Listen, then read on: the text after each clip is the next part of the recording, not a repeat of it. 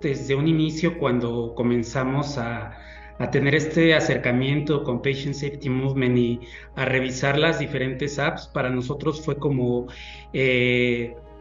un momento en el cual nos ayudó a poder eh, no solamente a desarrollar a nuestros propios líderes con, con la propia guía de las propias aplicaciones, pero también nos ayudó mucho a poder eh, identificar nuevas acciones que podíamos estar trabajando, implementando en los hospitales. Para nosotros, eh, si bien ya habíamos estado trabajando anteriormente con crear una mejor cultura de calidad y seguridad para nuestros pacientes, a través también de la implementación de, las aplicaciones, eh, nos ha ayudado también a ofrecerle a nuestros colaboradores a entender pues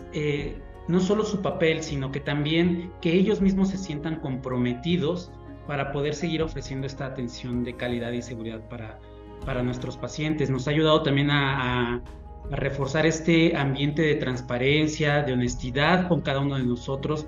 en la organización. Hemos logrado identificar que ofrecemos una atención más segura a través de la implementación de, de estas eh, diferentes apps. Cada una de las aplicaciones nos da eh, esas herramientas que ya están probadas, no solamente eh, en algunos hospitales, sino en muchos en, alrededor del mundo. Y con todo este aprendizaje, con la